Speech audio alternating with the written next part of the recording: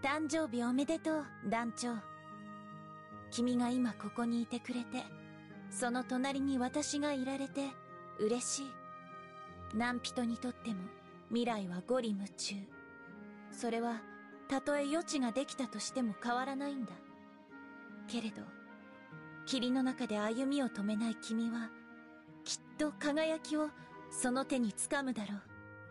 私も共にその輝きを目にしたい。次の誕生日も、その次も、ずっと共に過ごそう。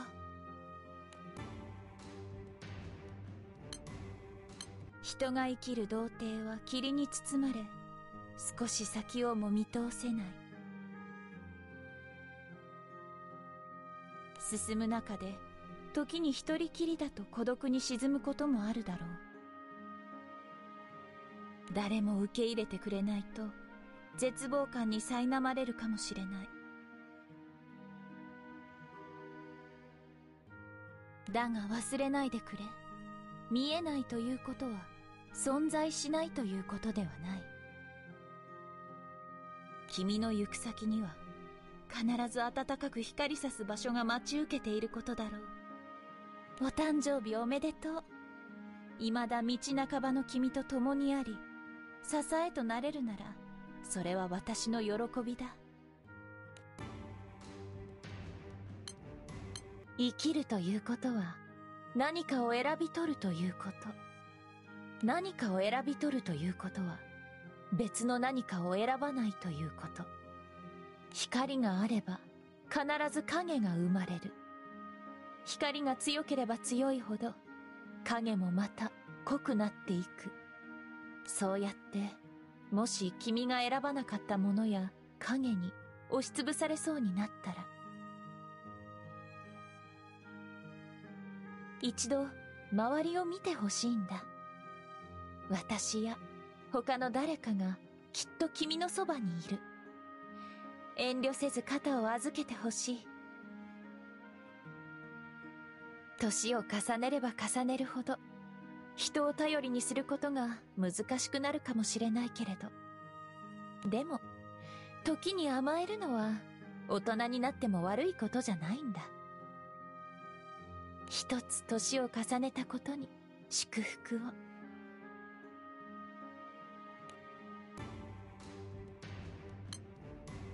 誕生日おめでとう。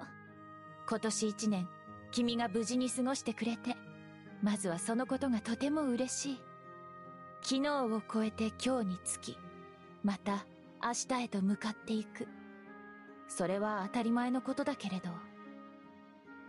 でも実は、明日がやってくるのは得難いことでもあるんだ。明日へ向かう足が止まる要因は、驚くほど世界に溢れているからね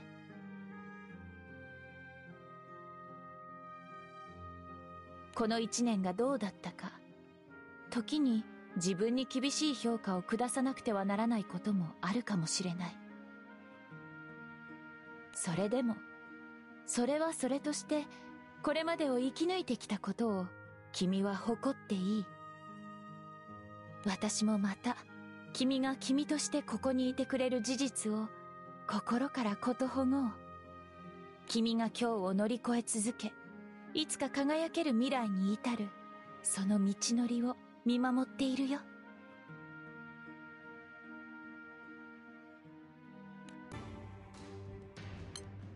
嬉しいこと、楽しいこと、悲しいこと、辛いこと。今年一年も様々なことがあったね。時には苦しさに歩みを止めたいと思うことだってあっただろう。お疲れ様、団長。それでも、一歩ずつ前へ進んで、今日という日にたどり着いてくれた団長を、誇りに思うよ。これから先、泣きたい時も、何もしたくない時もあるだろう。それはそれでいいんだ。そういう時、君は君自身を許して、また明日に向かう勇気を養えばいい。あまり自分を責めてはいけないよ。君はこうして、今日までずっと頑張ってきたのだから。お誕生日おめでとう団長。お祝いを言えて本当に嬉しい。またこれから先も何度でもお祝いを言いたいからね。どうか自分を大切にすることを忘れないでくれ。